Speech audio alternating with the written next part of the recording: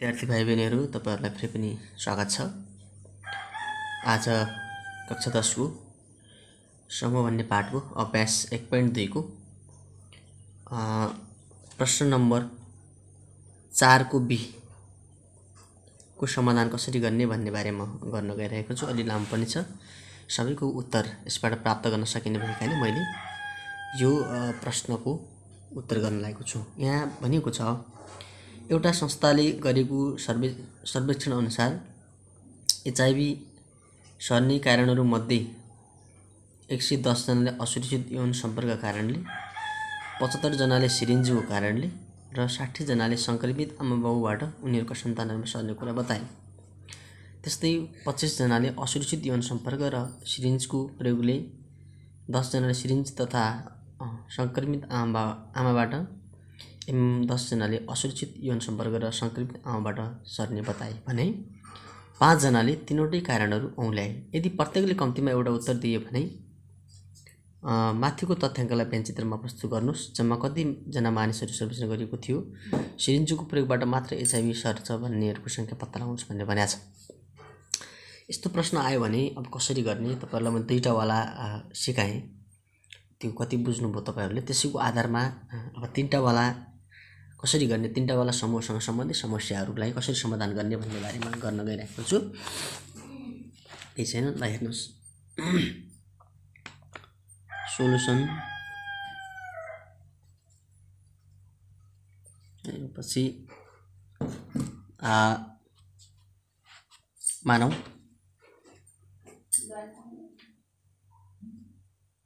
मानौँ सबभन्दा पहिला एचआइभी सर्ने कारणहरूमध्ये एक सय दसजनाले असुरक्षित यौन कारण मानौँ असुरक्षित यौन सम्पर्क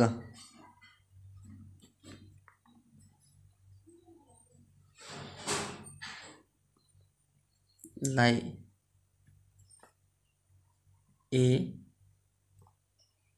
सिरिन्जको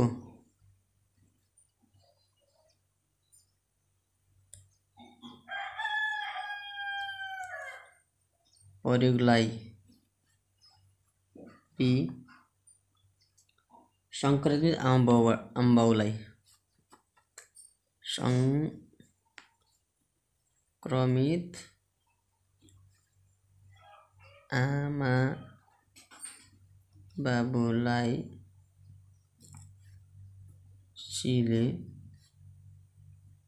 जनाउँदा होइन मेरो यसरी चाहिँ यिनीहरूलाई जनाउने अनि दिएको कुरा टिपोट गर्ने त्यसपछि number of number of A होइन कति दिएको छ?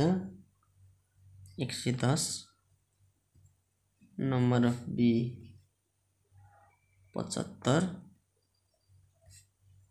नम्बर अफ सी साठी त्यसपछि number of A intersection B भनेको त्यहाँ भनेको छ नि।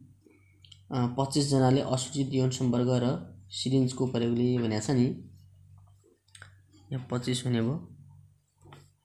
त्यसै गरी number of B intersection C दस हुने भयो। त्यसै गरी सी इन्टरसेक्सन ए चाहिँ कति छ हाम्रो? यो पनि दसै छ। त्यसै गरी तिनटैबाट सर्ने भन्यो भने पनि तिनटैबाट सर्ने होइन? कति छ यो? पाँच छ। यो पाँच दिएको छ। अब माथिको जानकारीलाई व्यञ्चित्रमा प्रस्तुत गर्दा व्यञ्चित्रबाट व्यञ्चित्रमा प्रस्तुत गर्दा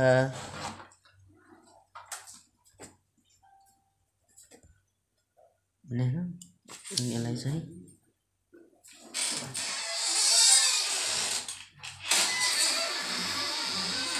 यस्तो प्रकारले भेन्डाकार बनाउनु होला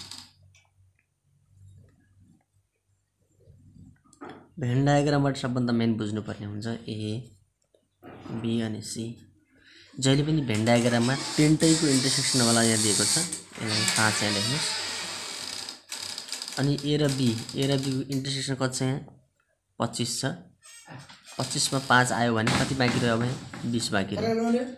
यो ए र बीमा पाँच आयो पाँच बिस बाँकी रह्यो। बी र सीमा दस आइसकेको छ दसमा पाँच आयो पाँच बाँकी रह्यो। अनि ए र सी ए र सीमा चाहिँ दस छ दसमा पाँच आयो पाँच रह्यो पुरो ए भनेको एक सय दस हो। एक सय दसमा बिस दस तिस आयो भने कति रह्यो त अब असी बाँकी रह्यो। अनि यो पचहत्तर छ पचहत्तरमा तिस आइसक्यो भने कति रह्यो त अब कति आयो? पच्चिस तिस पचहत्तर भनेपछि पैँतालिस। अनि पुरै योमा पन्ध्र आइसक्यो भने पै साठी भने चाहिँ पैँतालिस बाँकी रहने यसरी गर्नु? पऱ्यो जम्मा कतिजना मानिसहरूमा सर्वेक्षण गरिएको थियो भनेर भनेको छ। यो एउटा हो। जम्मा सर्वेक्षण गरिएका मानिसको जम्मा सर्वेक्षण गरिएका मानिसहरूको सङ्ख्या लेख्ने होइन? के सूत्र पनि लेख्नु पर्दैन। डाइरेक्टली तपाईँहरूले के गर्न सक्नुहुन्छ? सबै जोड दिनुहोस् यो। असी प्लस बिस प्लस पाँच प्लस पाँच प्लस पाँच प्लस पैँतालिस प्लस पैँतालिस गरिदिनुहोस्। एक सय एक सय पन्ध्र एक सय पन्ध्र दुई सय एक सय पन्ध्र दुई सय पाँच। एक सय एक सय पाँच एक सय दस एक सय पन्ध्र प्लस नब्बे दुई सय पाँचजना लेख्नु पऱ्यो अनि त्यसै गरी तेस्रोमा चाहिँ के भनेको छ भन्दा सिरिन्जको प्रयोगबाट मात्र एचआइभी सर्छ भन्नेहरूको सङ्ख्या सिरिन्जको प्रयोगबाट मात्र सिरिन्जको प्रयोगलाई हामीले के भनेको छौँ बी भनेको छौँ भने बी बीमा के छ सिरिन्जको प्रयोगबाट मात्र भन्यो भने यो मात्र यो मात्र हुन्छ पैँतालिस यसलाई लिने सिरिन्जको प्रयोगबाट मात्र सर्ने भन्यो भने पैँतालिसजना त्यसरी भयो भने भेन डायग्रामलाई एकदम क्लियरसँग बुझ्नु होला। भेन डायग्राम तपाईँले बुझ्नुभयो भने भेन डायग्रामबाट इजिली तपाईँहरूले सजिलैभन्दा सजिलै धेरैभन्दा धेरै प्रश्नहरूको समाधान गर्न सक्नुहुन्छ। यो भिडियोलाई दुई पटक तिन पटक हेरेर यहाँबाट धेरै कुरा बुझ्नु होला। धन्यवाद।